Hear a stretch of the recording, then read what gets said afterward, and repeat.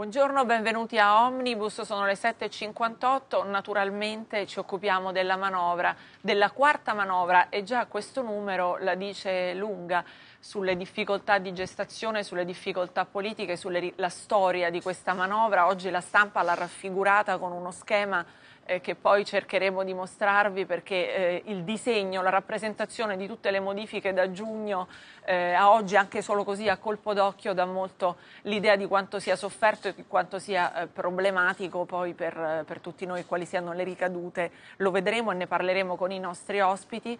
Eh, ieri c'è stata quest'ulteriore correzione, oggi si voterà eh, la fiducia al Senato, c'è stato un pressing forte di Napolitano e anche del governatore di Banca Italia Draghi che fra poco poi traslocherà alla Banca Centrale Europea, eh, ma vediamo subito quali sono i nostri ospiti prima appunto di sentirli su questi argomenti. Allora cominciamo, c'è Osvaldo Napoli eh, del Buongiorno. PDL che è anche rappresentante di punta dell'Associazione dei Comuni, quindi è anche molto ferrato sulle proteste del, degli enti locali rispetto alla manovra eh, Paolo Gentiloni del Partito buongiorno. Democratico, buongiorno, eh, Mar- eh, Maurizio Fugatti, chiedo scusa, della Lega buongiorno. Nord, deputato della Lega Nord, benvenuto, eh, Mario Secchi che è il direttore buongiorno. del Tempo e Marcello Sorgi, editorialista della Stampa, buongiorno.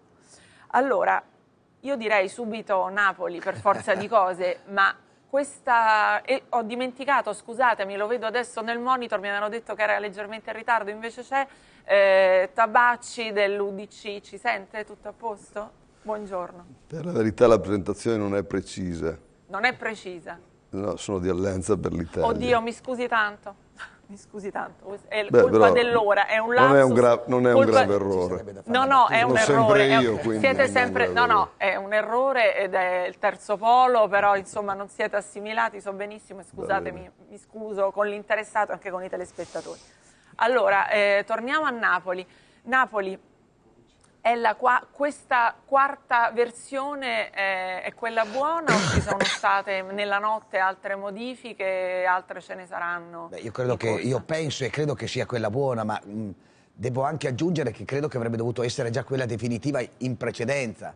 Cioè il fatto di non aver inserito in precedenza una parte almeno di carattere sulle pensioni, di non aver inserito l'IVA, eh, ecco, credo che sia stato un errore, perché non doverlo dire? Credo che avremmo dovuto immediatamente pensare a queste soluzioni, ripeto, una settimana fa, senza dover andare avanti e indietro. Forse a questo punto i mercati avrebbero reagito diverso, anche se dobbiamo essere onesti che al di là delle critiche che posso fare, eh, i mercati hanno reagito in termini globali europeo, quindi quando i mercati sono scesi non sono scesi soltanto in Italia, ma sono scesi in tutta Europa.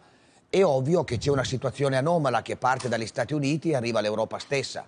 Io credo che oggi i risultati dei mercati alla base di quanto si è fatto, anche le risultanze che l'Europa ha detto ieri sera con alcune agenzie, alcune prese di posizione e anche le prese di posizione della stessa Confindustria eh, quest'oggi e ieri sera eh, danno, almeno si pensa che possano dare dei risultati positivi.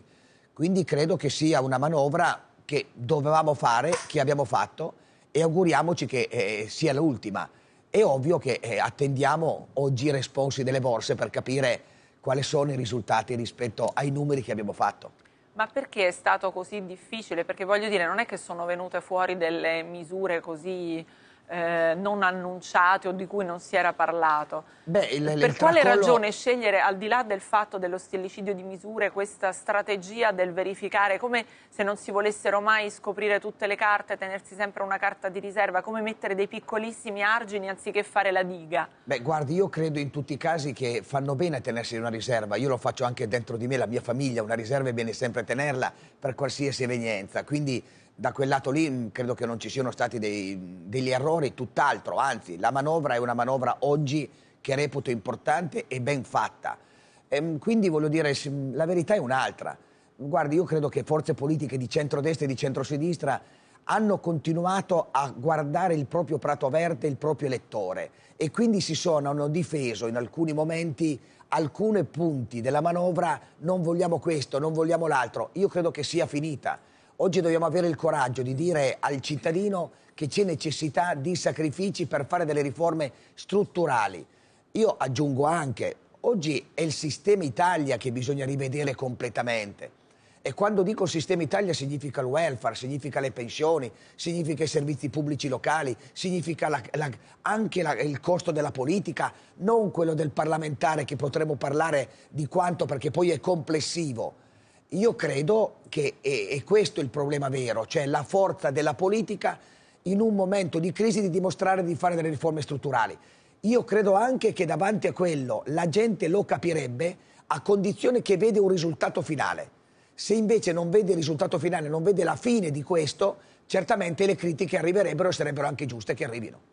Lei sembra parlare in modo non proprio da esponente della maggioranza in questa e anche no, annunciare perché... che ci potranno essere delle altre no, io non credo, Io non credo, io credo però che è giusto anche l'appello di Napolitano è stato un appello direi importantissimo e anche dallo sveltire la procedura burocratica parlamentare altrettanto. No, no, io non critico, anzi dico così, la critica è che dico che bisognava farlo prima, perché credo che alcuni passaggi, l'avessimo fatto subito, i mercati avrebbero reagito in maniera diversa. Quindi la mia critica, se critica è, è quella che abbiamo perso alcuni giorni.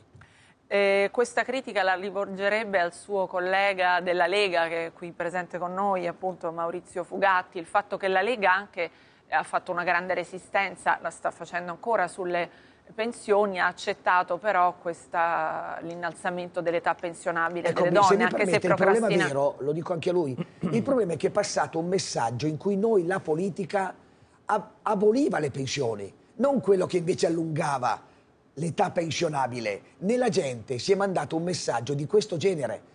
Non siamo stati capaci noi, sono stati capaci qualcun altro a mandarlo. Questo è anche un passaggio estremamente delicato.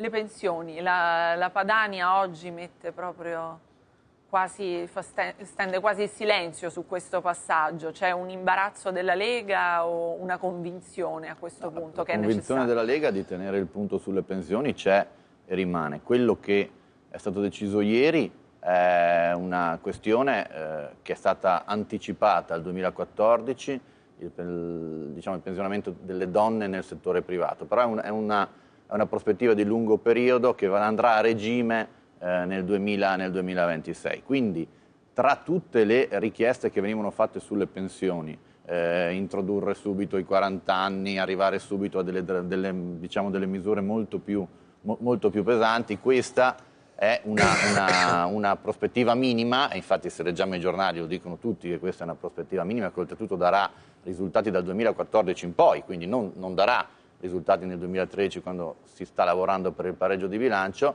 e quindi se uno vuole dire che oggi la Lega ha eh, fatto marcia indietro sulle pensioni, questo, questo, questo ci sentiamo di dire, di dire, che non è vero. Se dopo si vuole introdurre il dibattito sulle pensioni, si introduce il dibattito sulle pensioni, però noi abbiamo la nostra posizione che eh, mi sembra sia stata specificata in modo molto chiaro, molto chiaro durante, durante tutta, tutta l'estate.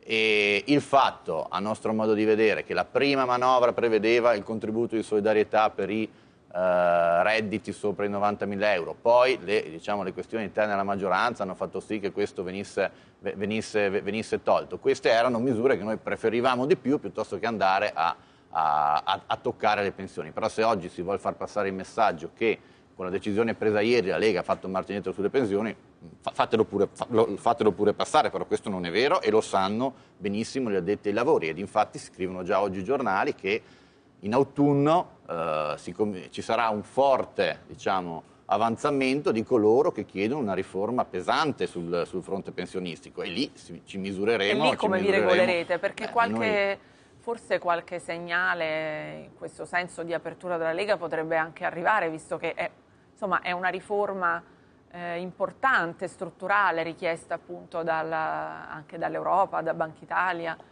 Beh, noi, sa, noi crediamo sul campo pensionistico perché ce lo chiede l'Europa, ce lo chiede la Banca d'Italia, non è che dobbiamo, dobbiamo non fare gli interessi dei, dei lavoratori.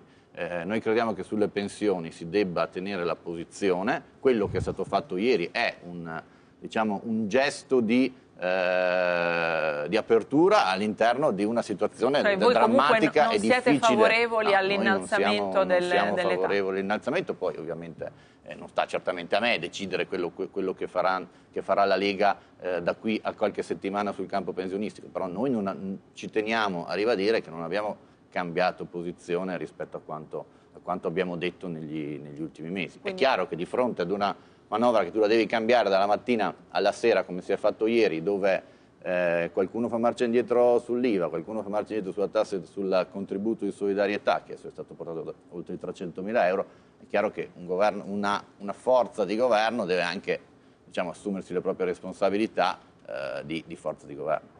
E però invece sul resto la responsabilità di forza di governo su una cosa no, più complessiva non... Beh, insomma, lì è un discorso sul, sul, quale occorre appunto discutere. Noi abbiamo molti dubbi che questo sia una, una, una, una funzione realmente utile, Se, perché ci viene chiesta dalla BCE, perché ci viene chiesta dalla Banca d'Italia, francamente eh, occorre andarlo a spiegare ai lavoratori che hanno cominciato a lavorare allora... a 14 o 15 anni, eh, che magari si sono spaccati la schiena per, tre, per 35 anni che gli vogliono. Beh, gli vogliono di solito i lavori usuranti sono sempre salvaguardati, ma io vorrei far spiegare proprio a Tabacci dell'API, visto che proprio ieri Rutelli eh, ha rilanciato nel suo discorso in, in Senato anche eh, una, diciamo così, una, ha rivolto un appello, si è detto disponibile a dare i voti eh, dell'API per l'appunto ad un'eventuale riforma complessiva delle pensioni di anzianità. Allora vorrei chiedere a lei Tabacci che, eh, di, di, spiegare perché invece la, a, suo, a, vostro avviso la riforma delle, dell'età pensionabile è qualcosa di, di utile insomma, e non contro i lavoratori, insomma, come stava dicendo prima Fugatti.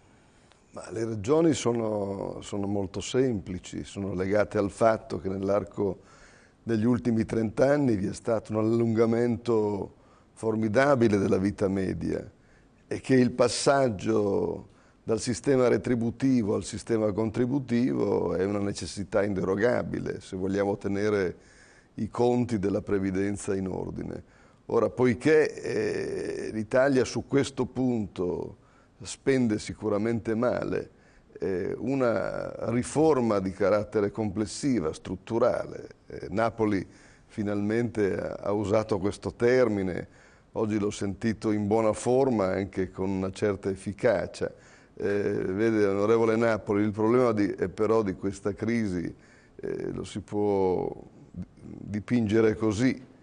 Berlusconi aveva spiegato che noi eravamo i più bravi e che saremmo usciti eh, fuori dal tunnel prima di tutti gli altri e meglio degli altri.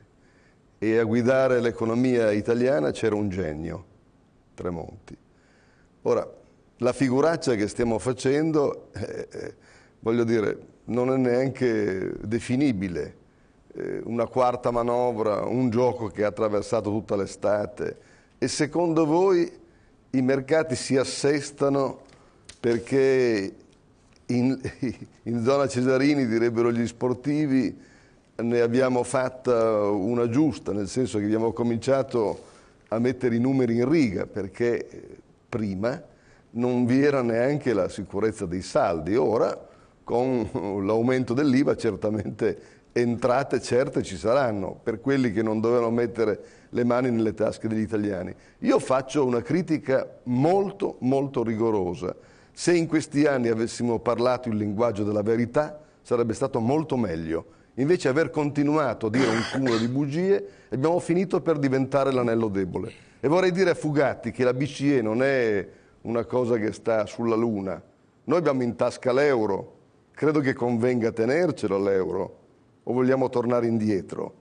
E l'euro cammina con le gambe del marco, non con le gambe della lira cioè di una moneta che ha una sua stabilità e che tende a rivalutarsi, il che impone di fare delle riforme strutturali, lo sapevamo, ma forse immaginiamo di affrontare una temperia internazionale come quella che è, con una moneta che si svaluta a comando e che taglieggia la capacità di acquisto, non è possibile, comunque indietro non si può tornare, però senza le parole di ieri eh, del, eh, del governatore Draghi e il richiamo della Merkel, non che la Merkel non abbia problemi, ma quando dice che gli anelli deboli sono la Grecia e l'Italia ci deve far riflettere il punto. D'altro canto, ed ho concluso, in Europa ci si sta, eh, diciamo, eh, se si vuole tenere la moneta in tasca, eh, ci si sta e ci si assume le responsabilità. Il che vuol dire che anche le politiche fiscali debbono essere armonizzate. Non si può rivendicare autonomia nelle decisioni e pensare che i debiti li pagano gli altri. Vedete, il problema dell'Eurobond è esattamente questo. L'Eurobond è una felice intuizione, ma chi garantisce gli Eurobond?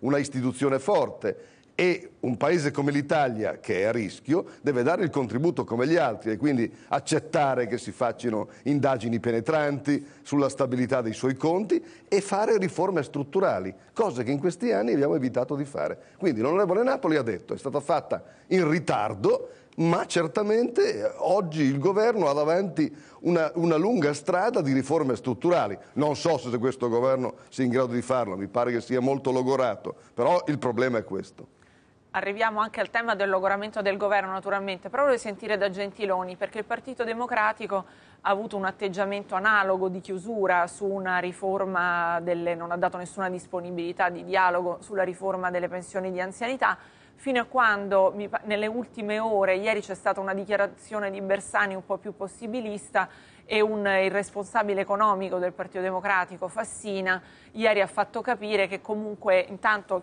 si chiuda questa manovra, poi dopo forse si può parlare e sembrava eh, aprire la strada ad un confronto su questo tema, perché siete non, un po' diversi dalla, dall'Alleanza per l'Italia. Non credo che da parte nostra ci sia un atteggiamento di, di chiusura rigida, senz'altro non c'è da parte mia, perché le argomentazioni che spingono nella direzione di cui parlava adesso Bruno Tabacci sono assolutamente incontestabili. Bisogna dire che il Partito Democratico in queste settimane mm, non ha toccato palla dal punto di vista degli aggiustamenti di questa manovra, cioè ognuno si prenda con chiarezza le proprie responsabilità, cioè la, siamo alla quarta, quinta versione di questa manovra, ma non perché c'è stata una dialettica parlamentare, la, la maggioranza, l'opposizione, quello è intervenuto, ha cambiato, eccetera. Eh, noi, i vertici del maggior partito di opposizione, non abbiamo per molte settimane neanche ricevuto una telefonata da parte del governo, del ministro dell'economia, per spiegarci quali fossero gli intendimenti del governo. Quindi diciamo le cose come stanno. La crisi più grave è esplosa ormai un mese fa. È passato un mese nel quale la dialettica e le tensioni tra Tremonti e Berlusconi, tra la Lega e il PDL, all'interno della Lega, eccetera, eccetera, eccetera, hanno prodotto i risultati che abbiamo visto in questo mese. Ieri eh, sera, eh, l'altra sera, alle 21.30, cosa abbastanza inusitata, c'è stata una dichiarazione del Presidente della Repubblica che ha messo il dito sulla piaga, ha richiamato l'attenzione sul fatto, con un linguaggio istituzionale, io non lo voglio tradurre, ma io l'ho interpretata così, che i saldi di questa manovra stavano saltando per aria. Perché togliendo di qua, togliendo di là, accontentando quello, accontentando questo, non funzionavano più.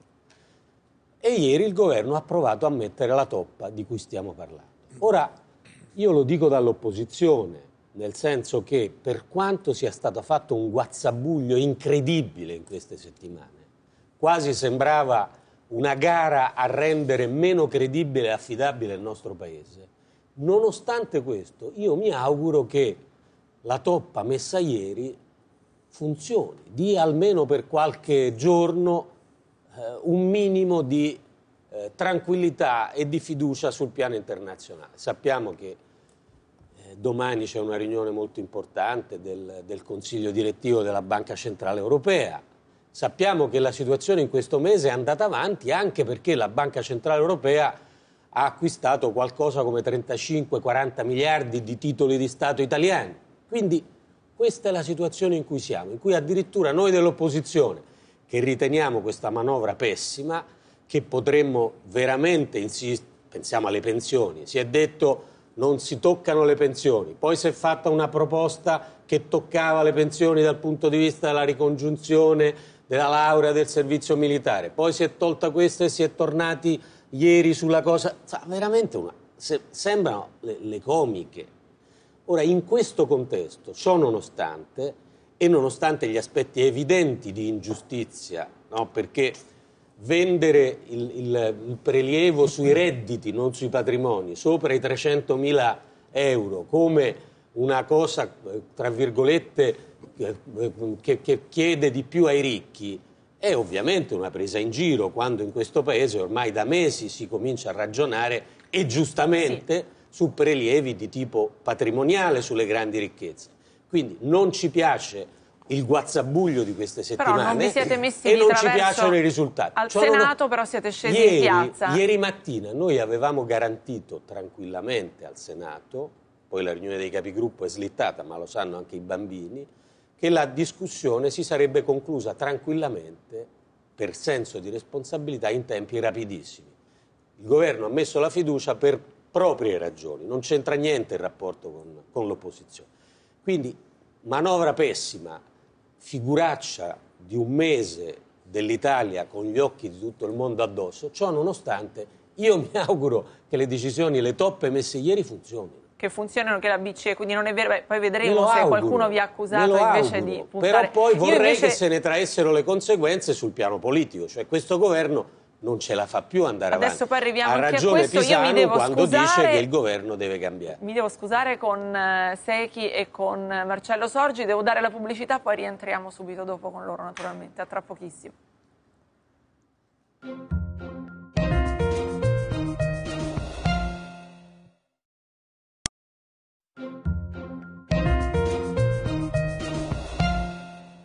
Rieccoci a Omnibus. Allora volevo chiedere subito a Marcello Sorgi di commentare lo stato, lo stato dell'arte, queste continue modifiche, la, la quarta versione, abbiamo, chiedevamo prima se era l'ultima o se serviranno ulteriori aggiustamenti e che cosa naturalmente questo significa in chiave politica. Ma, una delle cose che mi ha sorpreso in questa estate di, di, di crisi, di sbalzi, di mercati è che l'Italia sembra diventata un paese di economisti. Cioè, eh, mi sorprende la rapidità con cui una volta si diceva che era un paese di allenatori della nazionale, no? ognuno aveva la formazione giusta, la ricetta giusta per vincere i campionati del mondo. No? Eh, oggi tutti parlano di spread, di bolla, eh, di euro, di marco, eh, e ne parlano anche spesso a sproposito, perché poi sono materie che richiedono una certa competenza. No? Cioè, mi riferisco ovviamente soprattutto alla nostra classe politica, in cui tutti, tutte le sere, tutti i giorni intervengono eh, su queste materie. Io vorrei per un momento accantonare la parte tecnica, sulla quale confesso di non essere molto competente, e andare alla sostanza politica. La sostanza politica di questa tempesta, che secondo me ha ragione Napoli, ha investito tutta l'Europa, per non dire tutto l'Occidente, no? La sostanza politica è che questa tempesta ha messo in discussione gli equilibri politici di molti paesi. No. Allora, prendiamo la Spagna, che era il paese più malato di tutti, sembrava moribondo, a un certo punto il primo ministro ha annunciato, ha chiesto le elezioni anticipate, ha annunciato che non si ricandiderà, diciamo, ha messo la posta in gioco, ha detto, beh, noi non siamo in grado si voti, chi vince veda cosa. Eh, la tensione dei mercati nel, nel, caso della Spagna si è subito eh, allentata. In Francia Sarkozy è già in fase elettorale, quindi non aveva neanche bisogno di dirlo. In Germania abbiamo visto la Merkel come ne sta pagando le conseguenze nelle elezioni locali, no? quindi eh, gli indugi della Merkel, le resistenze della Merkel si, si traducono in perdita di credibilità presso il, il, il suo elettorato. Andiamo all'Italia. In Italia cos'era successo? Il giorno prima della, de, che cominciasse la crisi dei mercati, eh, il centrodestra aveva perso le elezioni, aveva accusato una sconfitta nei referendum, se, seppure insomma, mas, mascherandola, e il risultato di questo era stato diciamo, la, la diffusione del messaggio che questo era l'ultimo giro di Berlusconi, che era stato nominato un segretario giovane del PDL che nei, nei fatti era il delfino eh, designato e, e, si andava quindi diciamo, in, in, una prospettiva di, di, cambio, cioè il centrodestra si proponeva per continuare a governare il paese ma con una nuova leadership. Scoppia la crisi e succede il contrario, cioè eh, Berlusconi naturalmente non, non, non, mette neanche in dubbio la possibilità che possa dipendere dalla guida del Paese, cosa che invece appunto i mercati, i tecnici non dicono altro. E, e, ehm, Alfano addirittura dice che eh, Berlusconi sarà candidato nel 2013. E da parte della Lega eh, vengono delle resistenze. Quindi io credo che la domanda che dobbiamo farci è quale sarà la vera conseguenza politica di eh, tutto questo. Onorevole Napoli, secondo lei eh, questa crisi porta a un rafforzamento di Berlusconi o accelera diciamo, una successione di Berlusconi? E la Lega, eh, per quale ragione appena Alfano ha detto che Berlusconi si ricandiderà, eh, ha subito detto no, no, no, per carità, noi guardiamo ai prossimi eh, sei mesi? Io credo che sia prematuro, direttore, parlare di quello che sarà alla fine, perché se le cose vanno in un certo senso... Quindi è d'accordo con la Lega? No, andiamo a votare nel 2013. Con Berlusconi. Beh, con Berlusconi non ci sono dubbi. Io credo però, non ho paura di dirlo, perché io credo che Berlusconi, oggi poter annunciare che Berlusconi possa essere il candidato non sia un peccato. Credo però che alla luce di tante prospettive, di situazioni che non sono colpa di Berlusconi, perché la situazione, io devo dire a Tabacci e anche a Gentiloni prima, la situazione, lei, lei l'ha ripetuto, in, se fosse colpa di Berlusconi in Europa non ci sarebbe il disastro che c'è, ma non soltanto in Europa, anche negli Stati Uniti. Credo che quindi la decisione di Berlusconi di candidarsi o meno non dipenda soltanto da una situazione critica perché Zapatero si porta dietro una situazione diversa rispetto all'Italia, perché la crisi della Spagna nasce di gran lunga in precedenza rispetto a noi. Spagna, Portogallo, Irlanda, ecco, Grecia, quindi, e noi non siamo, si può dire di tutto, ma noi non siamo ancora nella situazione in cui erano questi paesi. Quindi la decisione di Berlusconi di candidarsi o meno, certamente in un quadro politico che deve cambiare. Io sono io il primo a dirlo, io dico che l'area moderata del terzo polo del centro eh beh, è necessaria in base ad un programma che noi dobbiamo presentarle vedere di riuscire a recuperarla. Se siamo insieme nel PPE a Bruxelles, non vedo perché non dobbiamo essere insieme in Italia. E gli amici della Lega, sotto questo aspetto, devono capire che la politica è anche la ricerca di nuove alleanze. Non è possibile bloccare ma, le ma nuove non alleanze. trova che se Berlusconi avesse semplicemente confermato il messaggio che aveva dato l'indomani delle elezioni, di dire, beh, noi faremo il possibile ovviamente per affrontare la crisi economica, però badate che comunque stavamo preparando un cambiamento, cioè ci sarà un altro centrodestra, ci saranno altri leader. Se lui avesse solo confermato, perché questo messaggio lui lo aveva dato chiarissimamente Con all'inizio di, eh, di- eh, di luglio, eh, ehm, probabilmente le cose sarebbero cambiate. Beh, però no? Cioè, attenzione- c'è nell'accanimento dei mercati c'è anche, secondo me, la conseguenza di dire Ecco, guardate che io resto a qualsiasi Questo è il passaggio che, eh, questo che vede lei fa un passaggio dicendo, se, perché mi scusi, eh, voglio sintetizzare, lei dice se Berlusconi fa un passo indietro i mercati è e a quel punto No, lì, no, perché- no, no, io dico se Berlusconi conferma quello che aveva detto, anziché cambiare rispetto a quello che aveva lui aveva detto che insomma oramai eh, la successione era Ma io eh, sono in convinto corso. che Berlusconi la pensi ancora così. Eh, però ha detto il contrario. Io sono convinto Eh. però che la pensi ancora così. che l'ha fatto dire soltanto per, per raffo- ha fatto dire ad Alfano per dargli una Ma mano in un Berlusconi è un uomo intelligente, sa benissimo quando dovrà essere il momento di fare un passo indietro o di rimanere. Lo capisce, non è, ehm, la sua storia e la sua vita personale da imprenditore e da politico le consente di capirlo. Dipenderà da una situazione, manca un anno e mezzo alle elezioni, beh lo vedremo. Insomma, è un classico Sì. italiano, dicono il contrario di quello che pensano. Beh no, io non credo questo. Aspettiamo che la politica faccia il suo corso, direttore. Però la politica sta... Adesso eh, Sorgi aveva fatto una domanda anche a Fugatti eh, Sì. su, Perché loro non mi pare che la pensano così.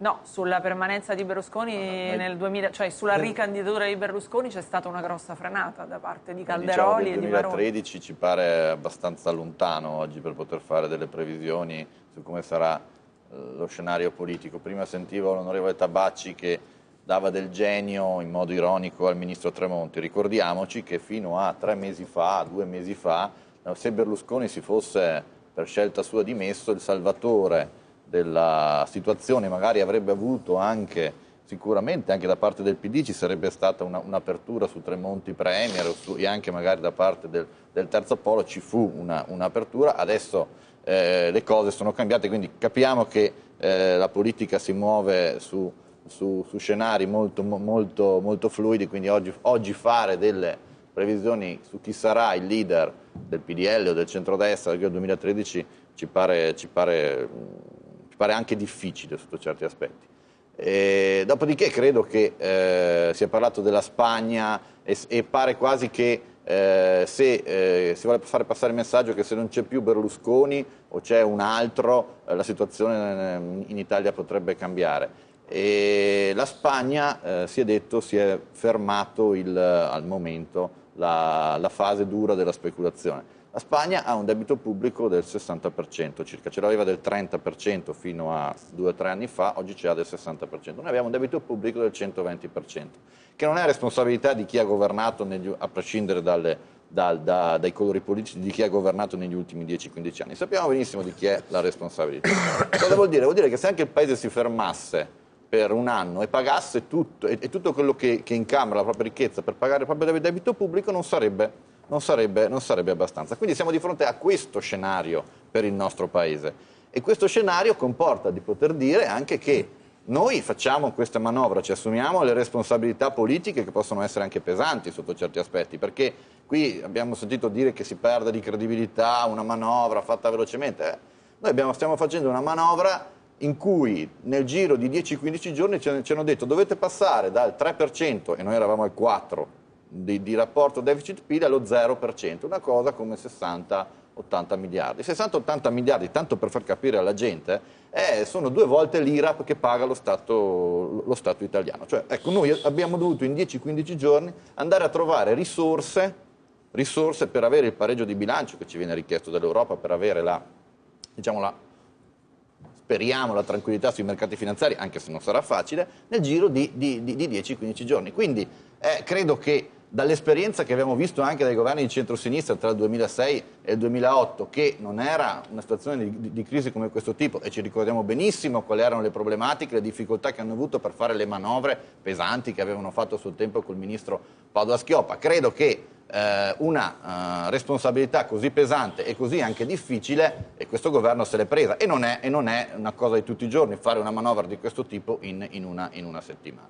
Sapendo che questo è un paese che eh, avendo il 120% di debito, eh, di debito pubblico, eh, anche se eh, questo paese, come abbiamo detto, pagasse tutto in un anno, no, no, non ce la, sarebbe una situazione di difficoltà. Questo è lo scenario che agli italiani dobbiamo dire, perché altrimenti sembra che eh, il 10% di contributo di solidarietà, le pensioni, il, eh, l'IVA, eccetera. Eh, però mancato... la, questione è molto, molto delicata e dobbiamo sì, anche, però anche forse è proprio dire. la parte che è mancata, anche il discorso che non è stato fatto e l'impressione che è stata data era quella che si potesse comunque, vabbè, aggiustare, te, questa categoria si lamenta, vabbè, allora accontentiamo, la togliamo, mettiamo. Probabilmente anche adesso, questo poi non adesso, è una settimana ormai. Adesso negli ultimi giorni l'Italia è arrivata sotto, sotto l'attacco speculativo in maniera, in maniera pesante. Questo eh, questo è chiaro e questa situazione va, va, gestita, però non credo che ci sia stata una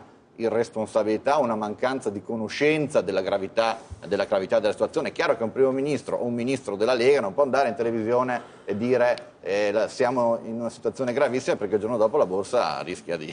cioè, dobbiamo anche capire quali sono le, le, le, gli scenari e, le, e, la consapevolezza. Comunque secondo lei non c'è un problema di credibilità. Io vorrei sentire Secchi su questo tema, la credibilità mm. e anche eh, chiederti subito, e poi naturalmente ne, ne parliamo con tutti quanti, eh, oggi c'è un'intervista di Pisanu al, a Repubblica e Pisanu eh, chiede, esce allo scoperto, come si dice il cavaliere faccia un passo indietro, ora serve un governo di larghe intese ed è lo stesso Pisanu a dubitare che questo governo, questa maggioranza da sola, dice lui, non è più in grado di evitare il tracollo. Naturalmente è una domanda poi da rivolgere a Napoli, però vorrei anche sentire da te come dunque, si compone questo quadro, il tema della credibilità. Il tema della credibilità, dunque, per i mercati è fondamentale, va da sé, eh, che però è articolato in tante cose, credibilità politica, credibilità di un sistema industriale e così via. Tra mezz'ora per la borsa vediamo un po' che succede, no?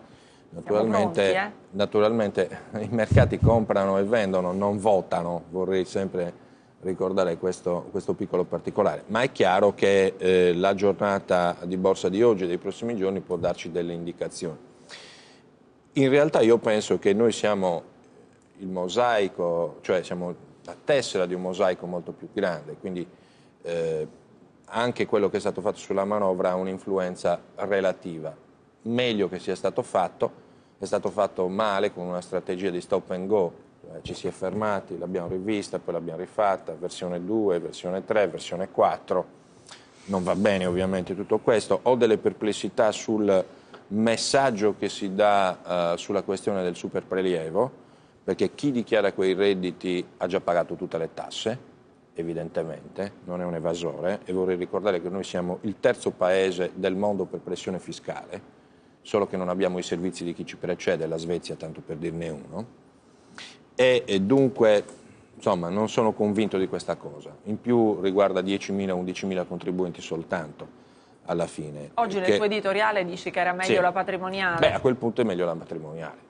La patrimoniale è la più equa, perché nella patrimoniale ci sono i cespiti veri, Tabacci sa di cosa parlo, Eh, ci sono i beni. Io non- Condivido. eh, no, cioè, voglio dire, non- è una questione di buonsenso. Io non sono certo ricco, ma sto nell'1,5% degli italiani che dichiara i 200.000 euro. Fa ridere. Non ho una barca, non ho una macchina, io ho la Panda, mi segue. Non ho il SUV, la Porsche e così via. Sono un contribuente onesto che improvvisamente viene preso dal governo e tassato ulteriormente. Non mi pare francamente una gran cosa. Per la patria facciamo tutto, però non prendeteci per gente che alza la mano negli occhi, perché non è così. Ma detto questo, la cosa eh, secondo me eh, dobbiamo, di cui dobbiamo tener conto è l'eccezionalità del momento e Gentiloni ha fatto un discorso corretto e lo stesso Napoli anche, cioè non dobbiamo guardare troppo per il sottile. A me quel, quel superprelievo non piace, perché sono un liberale e così via, però dico, vabbè, se serve a calmare i mercati, ma soprattutto più che i mercati, ehm, mettere con la BCE un punto fermo, perché quello è il vero problema in questo momento, allora va bene tutto. eh, Va bene anche questo, non, non è bello da vedere, ma eh, va bene. Berlusconi ha fatto il possibile, che che se ne dica. Perché? Perché, caro Fugatti, nella Lega siete spaccati su tutto, ci sono un paio di posizioni almeno, c'è la posizione dei Maroniani, c'è la posizione dei Bossiani, c'è Calderoli che fa alcune cose, eh, c'è Tremonti che tra la Lega e il PDL ne fa altre, ne pensa altre, e io capisco, questa è la dinamica normale dei partiti, ma è chiaro che il Presidente del Consiglio si è trovato in mezzo a questa situazione. Poi vorrei ricordare, anche nel PDL ci sono eh, tensioni, culture politiche diverse, c'erano i frondisti che volevano una cosa un po' più liberale, eh, ci sono quelli che vengono invece dalla, diciamo così, i socialisti riformisti, che ne so, Maurizio Sacconi per esempio, un bravo componente del governo, che la pensa diversamente su altri. Non era facile trovare una sintesi. Ehm, la borsa, il vero problema è la borsa e l'altro problema è la vita, facendo, facendo- facendo una battuta. La borsa non si calmerà, questa, questa è la mia previsione, non si calmerà nelle prossime settimane perché l'Italia ha fatto una manovra più o meno efficace. Eh, e anche questa è un'illusione della stessa BCE. I mercati si agiscono indipendentemente da, da quelle che sono le dinamiche dei conti in questo momento. C'è una fortissima speculazione in corso. Stavo guardando dei dati, sono terrificanti. Il JP Morgan Global Index, che è un indice molto interessante sulla fiducia di tutti i mercati, beh, è fermo, è stato diffuso ieri, i paesi emergenti stanno andando male. Se guardiamo gli ultimi due anni di crescita della ricchezza mondiale, noi siamo stati trascinati dai cosiddetti paesi emergenti. Se si fermano quelli siamo fritti, perché l'Occidente è cresciuto pochissimo. Però non hai l'impressione che delle volte questo allargare eh, la questione, come è corretto Sì. fare, al contesto, fare una questione quindi di contesto, l'Italia Sì. parte di un Sì, contesto... non deve essere un alibi. Spesso, ecco, No, sono che, d'accordo. che venga, perché è un po' l'argomento che viene Sì. utilizzato, lo dico all'onorevole Napoli. Sì, la da- maggioranza non deve usarlo come alibi per non fare le riforme, Come se, sono d'accordo. allora riguarda tutti e quindi, e soprattutto viene, se è speculazione, ma intanto c'è una parte di speculazione, poi se, la Sì. banca centrale, se c'è il problema di convincere la Banca Centrale Europea a comprare i nostri titoli, lì invece che una misura sia un tipo di misura, tua- qui anche credo che Tabacci eh, sia, insomma, l'aspetto strutturale delle misure eh, Sono, allora, è sono d'accordissimo. La, La qualità, ecco, la- non la- c'è un la- tua, la, tua, la tua- la tua annotazione è corretta, perché è chiaro che non si può usare lo scenario globale per dire eh, ma funziona così in tutto il mondo, allora non facciamo niente. No. Aggiungo di più, ci sono delle cose buone che se, se- se vengono confermate nella pratica, per esempio la lotta all'evasione, ci sono alcuni provvedimenti un po', anche qui, poco liberali se volete, però l'idea che finalmente io posso incrociare il redditometro, lo spesometro e il conto corrente bancario di un contribuente, beh, è micidiale, perché nel momento in cui c'è una simmetria tra stile di vita, quindi spesometro, redditometro, quanto dichiarato e conto corrente bancario e tu mi devi spiegare come fai ad avere una vita da 15.000 euro al mese, 20.000 euro di reddito dichiarato e 500.000 euro in banca caro ragazzo mio, sei un evasore, ti faccio l'accertamento. Sarebbe ora che cominciassero eh, certo, ad certo. occuparsene. Ma gli, strum- gli strumenti ora sa, ci sono, sa, tabacci, adesso lo usano. Questo eh. è stato il governo dei condoni e, e degli scudi, quindi sono arrivati al non punto, è che ha una che grande ha, credibilità. Che eh. Sono arrivati al punto però tabacci. Perfetto, perfetto. Sono arrivati al punto. Lo snodo, lo snodo è quello, eh, queste sono le cifre. eh, altro Più di che che quelli che dichiarano governo di 200.000 centrodestra. euro. Però Sono i grandi patrimoni, il fatto Voglio- che c'è una solo- ricchezza voglio solo diffusa che è otto suo Sull'evasione l'anno scorso, sul 2010, 25 miliardi in termini globali. eh. Però posso Però dire... un momento, facciamo solo- finire solo la rapidamente e poi io vorrei arrivare la, anche a la conclu- Pisano. la cioè- conclusione è che c'è un paradosso in tutto questo, no? che la crisi eh, e anche se volete una disordinata scrittura della manovra costringerà questo esecutivo a fare una lotta all'evasione probabilmente come non si è mai vista, almeno io lo auspico, vi dico la verità. E laddove emergerà appunto una simmetria tra questi dati, che cosa succederà? La cosa interessante è che l'accertamento sarà di fatto automatico e l'onere della prova sostanzialmente invertito, cioè con quei numeri sarai tu contribuente a dovermi dimostrare da dov'è che prendi i soldi. Ora, dal punto di vista poi culturale, bisogna vedere quanto pagherà questo in termini elettorali per il centrodestra, perché questo è un paese dove la dichiarazione è media sono problema. 20 25.000 euro l'anno. eh.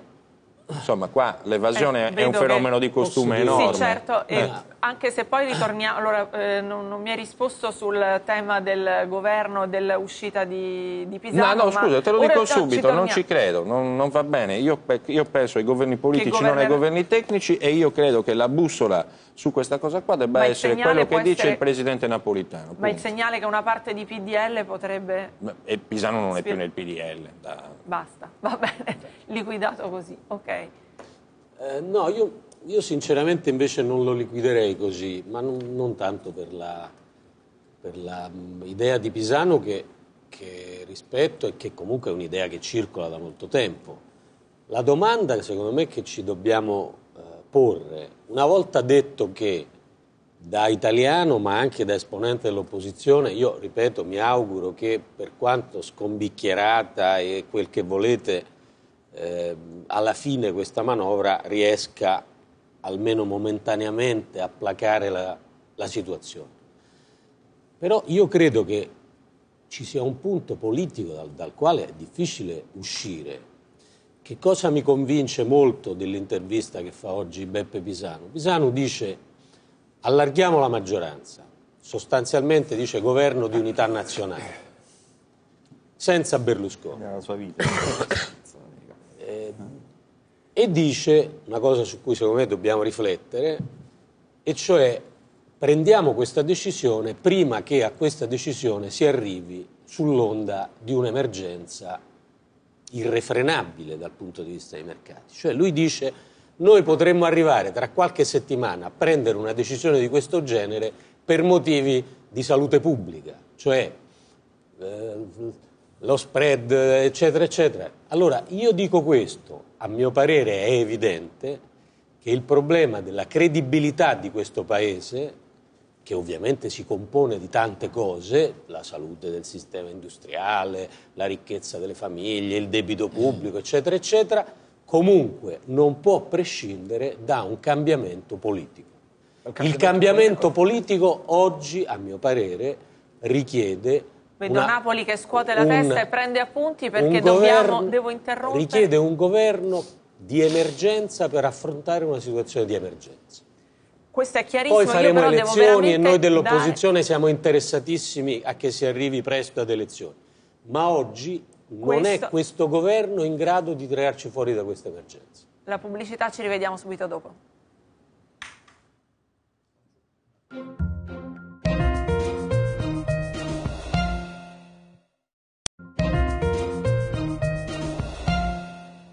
Sono le 8.53, bentornati a Omnibus. Io volevo chiedere subito a Napoli questa, appunto, questa sortita di Pisano, perché in effetti non è un, è un- anche se Secchi ha liquidato prima la cosa, vabbè, non è del PDL, però è del PDL, è un membro un ex ministro del PDL, eh, senatore. È il massimo una figura di peso dice che, ma mi sembra che il passaggio centrale sia che questo governo e questa maggioranza non è più in grado di evitare il tracollo e riaprire la via dello sviluppo, quindi il suo appello a un governo altro è particolarmente forte, potrebbe anche segnalare un malcontento nei confronti della gestione. Beh, ascolti, massimo rispetto per quanto riguarda la persona di Pisano, che eh, non, non è, è ovvio che eh, nell'ambito della politica italiana ha rappresentato e rappresenta certamente una figura di rilievo ed estremamente personaggio moderato, però mh, sotto un certo aspetto non posso non dar torto a Secchi. Cioè, no, eh, eh, cosa rappresenta nell'ottica globale del PDL, quanto ne rappresenta, qual è. Quanti voti ha? E attenzione, attenzione eh, io sentivo quando dice governo di salute pubblica,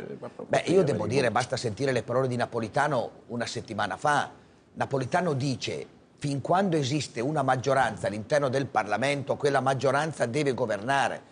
Il momento in cui non ci sarà più quella maggioranza, potrei, io potrò intervenire per vedere se ci sono delle situazioni diverse e un possibile governo diverso. Questo è il succo che dice Napolitano. Perché poi attenzione, Infatti dico, il problema lo devono risolvere le forze politiche, però lo dico, ma, ma, non è certamente Berlusconi quello, il responsabile, tutt'altro. Ed aggiungo, il cambiamento politico, e ti chiedo scusa, il cambiamento politico lo fa l'elettore, lo fa le elezioni, cioè non lo fa nessun altro. Eh, però e su questo oggi, Napolitano ha usato delle parole un po' diverse nel caso di crisi. Non ci sono dubbi, ma attenzione, intendo dire però in caso di crisi, in una situazione di emergenza, ma deve arrivare la crisi e la crisi arriva nel momento in cui mancano i numeri alla Camera o alla Senato non può arrivare prima. Cioè Napoli lei sta dicendo che qualsiasi cosa accada, quale che sia il giudizio dei mercati, quali che siano, eh, Berlusconi rimarrà casa, là. Le chiedo scusa, ma lei come fa a mandare a casa una maggioranza che nel momento in cui si presenta in Parlamento davanti a una mozione di sfiducia continua a avere la fiducia del Parlamento? Beh, io non, non riesco a capire come si possa pensare diversamente. Quindi voglio dire, quando si parla di governo tecnico e il resto, o tu crei, cosa che io non desidero, tre le condizioni politiche perché la maggioranza salti, se no non può esserci. Invece devo aggiungere una cosa di cui non parliamo e di cui io sono preoccupato. Il fango che sta per arrivare, che c'è su tutti i giornali, su tutte le televisioni, unite certamente alla difficoltà economica di questo momento, e quindi alle varie speculazioni, il fango che arriva contro il Presidente del Consiglio. Si riferisce alle inchieste su Tarantini? E, e, mi riferisco alle intercettazioni che nulla hanno a che fare sotto l'aspetto penale. E la mia paura è che questo crescerà e che questo certamente non fa l'interesse del Paese, oltretutto tenendo presente che nulla ha a che fare sotto l'aspetto penale e che quindi si voglia indebolire il Presidente del Consiglio per raggiungere quell'obiettivo. Ma ripeto, io di questo ho timore perché queste intercettazioni che vanno sui giornali come se nulla fosse e nessuno dice nulla, da dove arrivano, come arrivano, perché arrivano e riguardano la vita privata delle persone, io ho paura, ho paura perché chi le fa uscire probabilmente desidera Muoia Sansone con tutti i filistei, non gliene importa nulla della situazione economica e di una manovra, le interessa far fuori Berlusconi attraverso questo sistema. Questa è la verità, di questo io ho timore. Tabacci, io mm, vorrei sentire un suo giudizio su questa presa di posizione di Pisano e anche sulle prospettive. So qual è la posizione eh, del terzo polo, ci sono stati sempre appelli a un, a un, governo altro di emergenza e giudizi molto negativi su questo, ma in, in questo caso le chiedo anche come analista, oltre che come politico, lei eh, anche sulla base di questa intervista che insomma ha una sua rilevanza, anche se la figura di Pisano è una figura particolare, eh, crede che ci siano le condizioni per un, per un cambio dovuto a un'emergenza, cioè che un'emergenza possa far eh, o fare un passo indietro a Berlusconi, però, anche se Napoli lo esclude, o comunque cambiare qualcosa nel quadro politico? Beh, Napoli aveva escluso anche che si dovessero fare tutte queste manovre e, e quindi credo che la sua posizione può anche cambiare di fronte alla durezza delle vicende. Il senatore Pisano dice delle cose assolutamente sagge, ragionevoli, eh, che sia dentro tanto o poco nella PDL eh, non è decisivo perché è chiaro che la ipotesi a cui fa riferimento è quella eh, che questo governo ci porti allo sfascio. E, e, siccome non ci siamo molto lontani, e ha ragione Secchi a dire che i mercati non si tranquillizzeranno perché c'è un problema di credibilità grande come una casa. Il Premier è ricattato e ricattabile e questa non è una cosa buona, non ha uguali in nessun'altra parte del mondo e non ci sono neanche precedenti in Italia di questa dimensione, altro che vite private. In queste condizioni è chiaro che dover affrontare una manovra di verità nei confronti degli italiani, perché è vero che gli italiani sono, sono molto, molto più ricchi, anche se in maniera diseguale nel rapporto al loro PIL, otto volte, quando i tedeschi ce l'hanno solo quattro volte. E mi riferisco alla ricchezza, al patrimonio, alla ricchezza immobiliare e ricchezza finanziaria, il che giustifica un intervento sul punto specifico. E il tema del sommerso è la dimostrazione che non si può eh, sostenere un ciclo di sviluppo in modo così, eh, diciamo, eh, eh strumentale e, e, che invece bisogna farlo in maniera trasparente. Ma tornando all'intervista di Pisano, penso che sarebbe ragionevole che ci fosse un'assunzione di responsabilità. Ovviamente eh, la strada è quella parlamentare. Io eh, credo che, anche se qualche volta hanno fatto credere che il governo era stato eletto direttamente dai cittadini, credo che il governo goda della fiducia del Parlamento, un Parlamento che, diciamo, in base ad una legge elettorale eh, ha sfornato, mm, diciamo, una rappresentanza di, di, nominati più che di eletti, ma non importa, dal punto di vista costituzionale eh, questo governo dispone della maggioranza. Però io mi chiedo, le componenti di questa maggioranza si pongono il problema eh, della qualità del governo a cui hanno dato la fiducia oppure parlamentarmente il problema non, non li riguarda? Cioè la Lega che dopo averci promesso che ci portava fuori dalle difficoltà ci sta portando lo sfascio perché Maroni, voglio dire, e i suoi deputati hanno dato prima delle vacanze anche un certo voto che sembrava eh, preludesse ad una sorta di sterzata. Cosa vuol dire? Adesso che cosa è rientrato? Ha ragione Sorgi, si era fatto intendere che si voleva cambiare, in realtà adesso si dice no, ma noi andiamo avanti con Berlusconi. Beh, voi con Berlusconi non andate avanti, il Paese non va più avanti con Berlusconi. Questo è il problema che c'è. Se, ne vogliamo, se ne vogliamo prendere atto è meglio. Quindi Pisano è saggio. Forse conviene prendere atto prima che sia troppo tardi di questa cosa e non subirla sulla, sulla scorta di eventi che sono incontrollabili. Fugatti.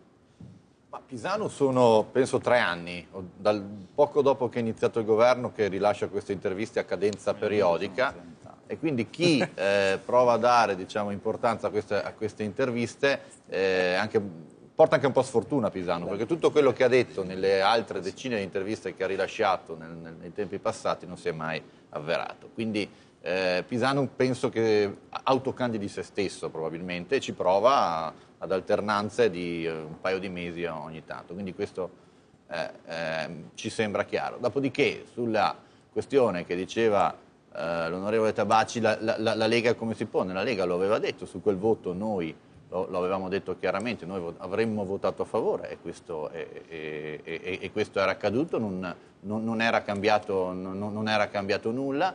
E sulle questioni che riguardano Berlusconi, Berlusconi valuterà lui il da farsi se dovesse arrivare una, Ma non è un marziano, una, una, una un accanimento che comunque c'è accanimento nei, eh, nei, suoi confronti da, da, da parte delle Si è detto delle, che anche per la Lega lo, lo quello che è stato lo, adesso è stato definito diciamo, fango, ma insomma no, non tutte le vicende giudiziarie che riguardano Berlusconi sono, non sono tutte uguali naturalmente. Si è parlato anche di un eh, fastidio della Lega, di un problema con il proprio elett- con l'elettorato, di un, questi segnali di questo ci sono stati anche in posizioni parlamentari prese dalla Beh, nei bar della Padania eh. si è parlato spesso del fatto che il Parlamento ha votato che eh, appunto il Presidente del Consiglio era intervenuto per la nipote ah, non di so quanto tu giri i bar della Padania, francamente, no, no, Tabacci, che, eh, non, non, mi sembri un, che io un frequentatore bar, tipico dei bar della Padania per quanto io sono, ti conosciamo. Guardi, guardi eh, che sono un po' più padano di lei, no, no, beh. Però in questo io, io, io, non stai riconoscendo. Fermiamo, fermiamo. Se conosci la Padania Onorevole Tabacci, lei riconosce la Padania, stia attento. guardi che lei ha sempre detto che la Padania non esiste. eh. riconoscendo la Ha sempre detto che la Padania non esiste. come entità statuale, come, Ah, come area attorno al C'è Po. il esistono, momento padano di Tabacci Come entità statuale No, non esiste proprio. Tabacci, ti chiedo scusa, però una risposta a quello che tu hai detto. Prima cosa, io ho mai escluso di non dover fare delle manovre. Secondo, ti voglio dire questo. Tutti i nominati, anche tu, mi pare che tu Eh, sei beh, nominato chi dell'UDC, poi sei passato all'API, adesso Quando ricordo... ero nell'UDC non ero nominato, onorevole Osvaldo. No, ma lei era eh no, ma Lei non c'era, ma io ero eletto in Parlamento. No, no, ma anch'io. Se lo ricordi Ma questo? anch'io, anch'io No, sono no, stato nel stato 2001 eletto eletto Forza uninominale. Con un sistema elettorale Tabacci, diverso. Io sono stato Erano eletto nominati anche con il Tabacci- Mattarellum. Tabacci, a me ti posso garantire che Erano per quanto riguarda le elezioni, io sono stato eletto nei collegi uninominali nel 2001 e sono stato eletto sindaco andando a prendere le preferenze. Allora voglio bene. dire, tutti nominati, siamo tutti nominati. Non può apparire che tu non sei nominato No, come gli altri. Io chiedo soltanto che siamo tutti alla pari. Vabbè, ad- Bene. io vorrei sentire Sorgi a questo punto. In- intanto A parte- vorrei a parte dire una cosa da a- siciliano. A, proposito di Pisano, non è tre anni, sarà 30 anni, 35 anni che Pisano sostiene questo, perché Pisano era Sì. con Zaccagnini nella banda dei quattro ai tempi del governo di unità nazionale guidato da Andreotti, 1976-79, come dire veramente non un secolo fa, Però 5-6 secoli fermiamoci fa. anche nel gioco dei precedenti, nel Sì. senso che No, quello che è voglio- rilevante è che Pisano non ha mai Sì. detto, una- ha sem- anzi è stata una figura piuttosto Ma insomma eh, è la sua politica da sempre, eh, so, poi adesso ha un prestigio diverso, è un ex ministro dell'interno, è anziano, sua quindi coerenza, insomma, eh, però insomma è, è così, cioè, sono 30 anni, 35 anni che lui pensa che il paese debba essere governato da tutti insieme eh, ed è una legittima posizione che però mi pare che in questo momento ha poche possibilità di realizzarsi, no? nel senso che se, semmai sarebbe più interessante capire, perché se uno lo chiede adesso, in questo momento, sotto la furia dei mercati, all'indomani di una manovra, la risposta sarà sicuramente no. Ma l'idea che veramente si possa arrivare al 2013 in queste condizioni è fuori dal mondo. Cioè, cioè, nel senso che gli ultimi sei mesi sono stati drammatici, cioè, eh, il numero di richiami che sono venuti dal Quirinale, eh, quasi uno alla settimana, no? Cioè, e chiaramente mm, non penso che Napolitano lo faccia così per divertimento o per sport o perché riceve delle pressioni eh, dall'esterno, ma perché guarda la realtà con gli occhi con cui la, la- la guardano tutti. Quindi ci sono anche una serie di fattori ten- di cui adesso non si tiene conto, per esempio la raccolta di firme per il referendum, no?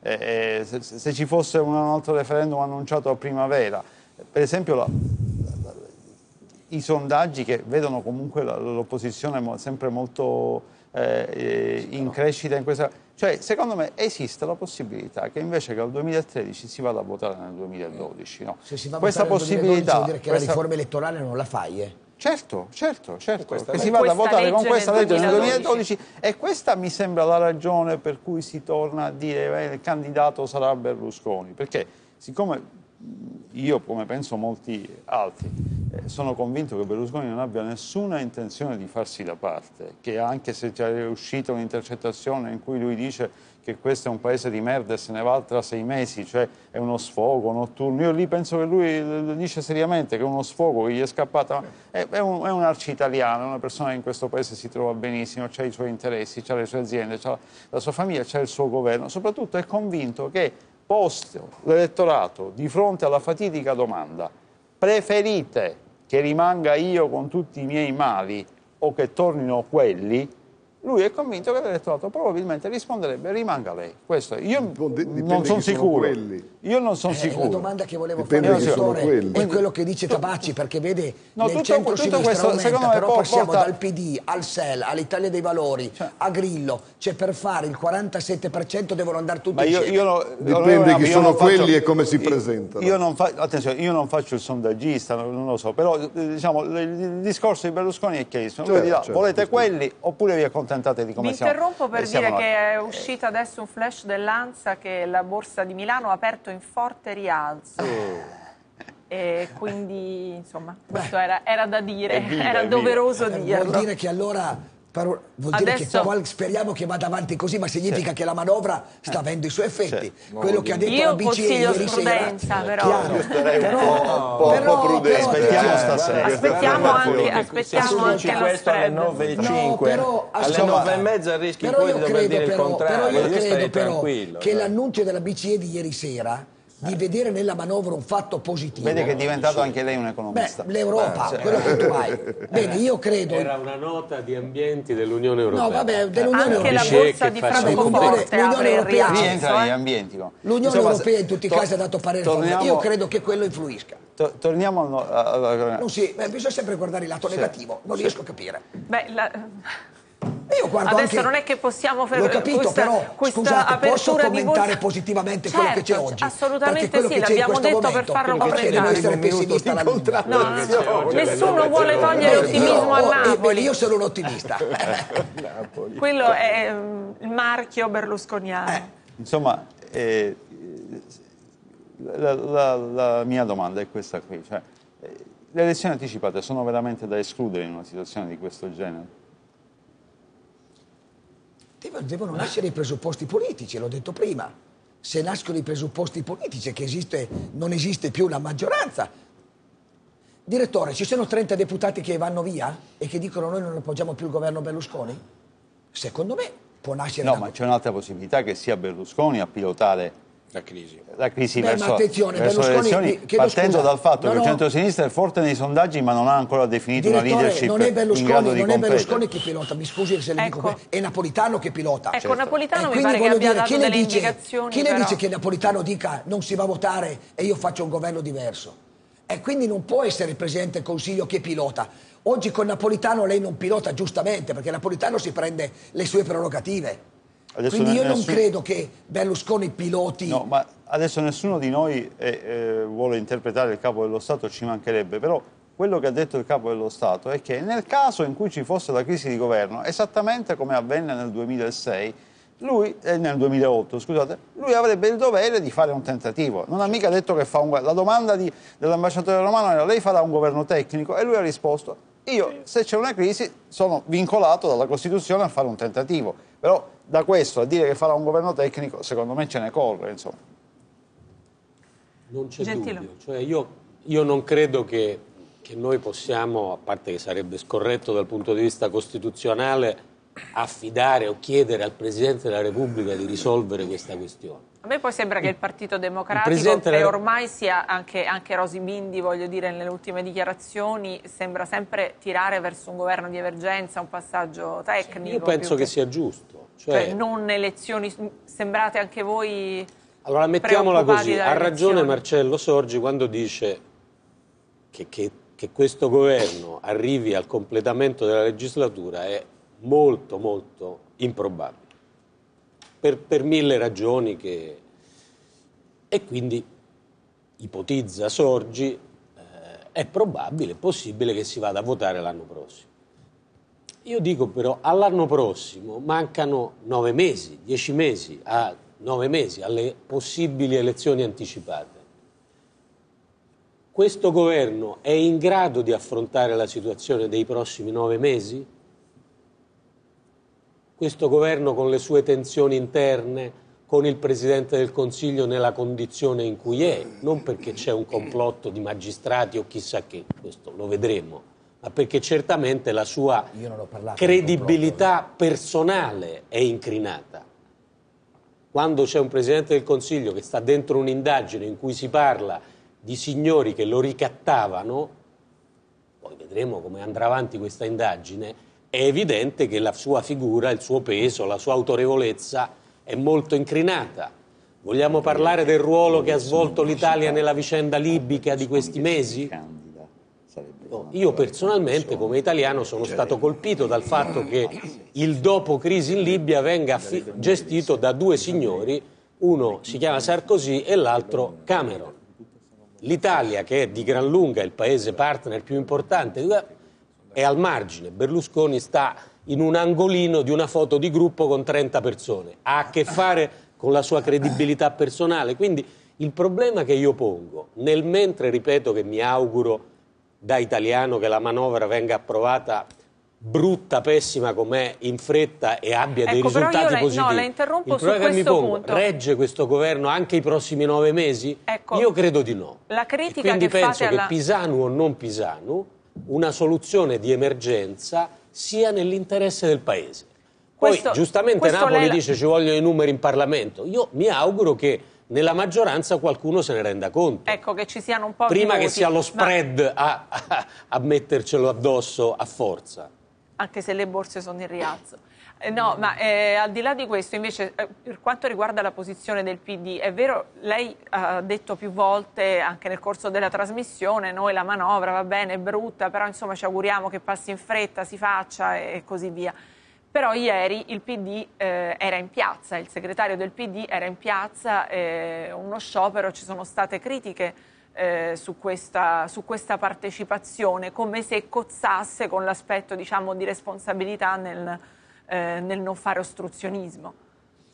Sì, come lo Oltre sa- a, spacca- a, diciamo, a seguire la spaccatura del sindacato, insomma anche il PD è... Sì, come lei sa, anche nel PD ci sono opinioni diverse. La mia, per esempio, è, è un'opinione diversa da quella di, di- di chi, come Bersani, gi- ovviamente rappresentando in quanto segretario il partito, ha partecipato a questa manifestazione. Io la pensavo diversa nel senso che ho il massimo rispetto per, per la CGL come per gli altri sindacati, che peraltro hanno un'idea diversa dalla CGL che però fanno un altro mestiere, i sindacati. I sindacati, divisi tra loro nel modo in cui farlo, però fanno il mestiere di tutelare eh, un pezzo della società. no? E hanno anche la- tutte le loro ragioni per farlo, perché certamente il lavoro dipendente, i pensionati in questi anni sono stati eh, trattati dal contesto italiano in un modo che, che grida vendetta da un certo punto di vista. Quindi figurarsi se io contesto al sindacato o nel modo che sceglie la CGL o nel modo che scelgono Cisle Will di difendere quel se- segmento, settore della società. Penso che un partito politico interclassista e, e grande come il PD non dovrebbe eh, tanto eh, arruolarsi in quella Bersani quel ruolo, eh.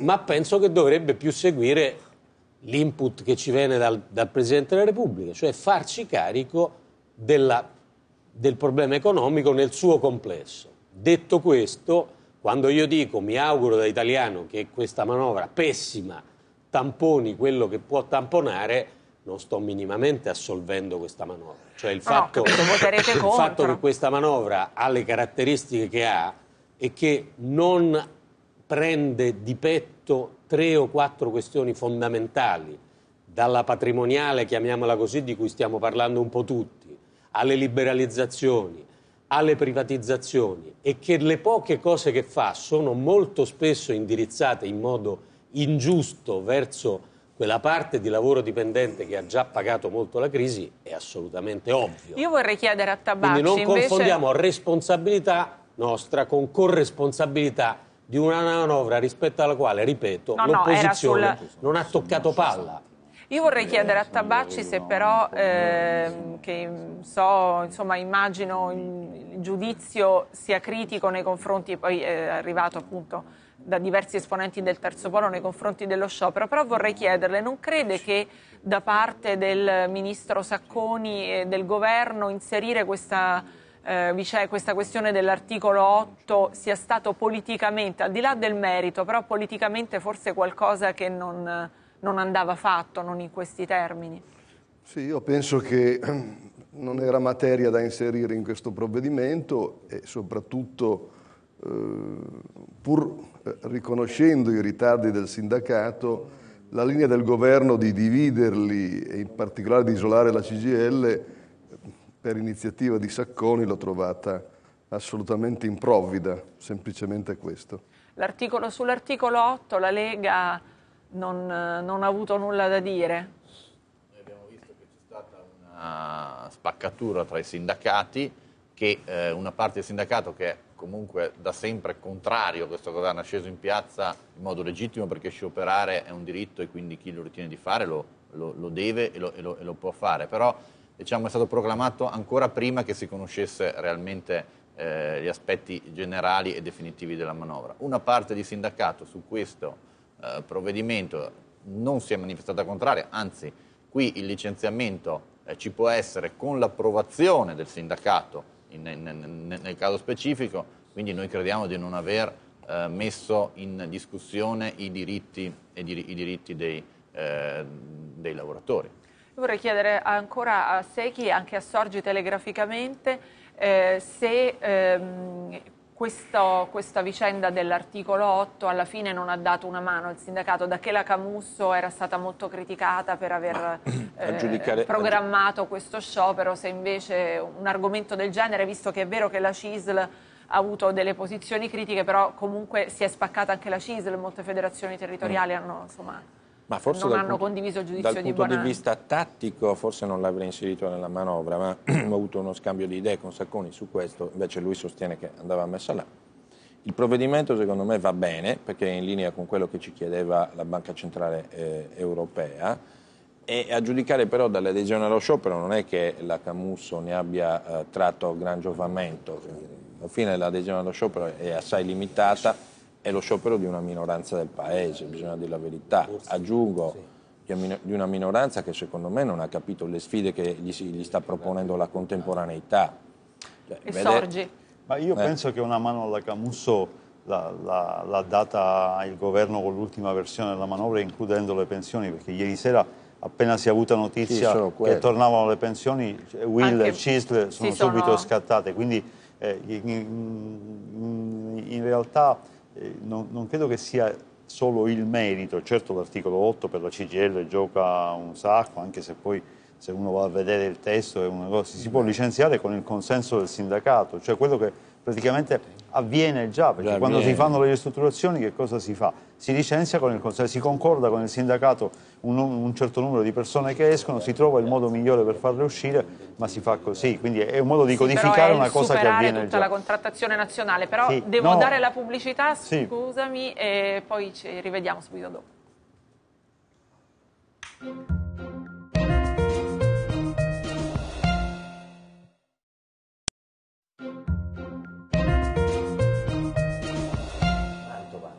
Rieccoci con l'ultimo blocco di Omnibus. E volevo, avevo interrotto Sorgi sul tema del, dello sciopero e dell'articolo 8. No, no, dicevo che secondo me a, al cambiamento di posizione di Cisle e Will ha contribuito molto di più l'arrivo della nuova versione della manovra che non eh, l'articolo 8 che c'era già da prima. Cioè, l'articolo 8, eh, certo, eh, ha dato alla CGL una ragione più evidente per convocare lo sciopero, uno sciopero che però anche a sinistra è stato molto eh, discusso, non fosse altro perché proprio sul terreno de dei licenziamenti, delle trattative sulle uscite, eh, il mese prima la CGL aveva fatto un'apertura ai vertici della Fiat, quindi diciamo, non si è capito, stato, la posizione della CGL è cambiata due volte, diciamo. prima nel senso di un'apertura verso la contrattazione, poi nel senso dello sciopero eh, generale. Poi sono arrivate le pensioni, il contributo, tutto quello che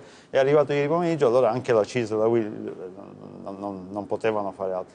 Credo che ci sia un problema di metodo oltre che di contenuto, cioè i sindacati contestano il fatto che non c'è nessun tipo di concertazione in quello che fa il governo.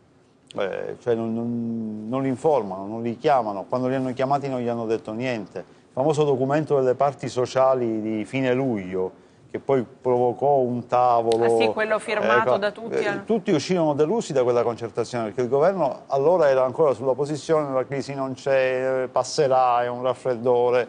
E quindi, sì. siccome quelli avevano fatto un documento per dire guardate che qui le cose si mettono male, ne uscirono eh, delusi. Quello è stato l'ultimo momento di vera eh, unità. Ora mi pare che ci sia anche una certa confusione all'interno del fronte sindacale.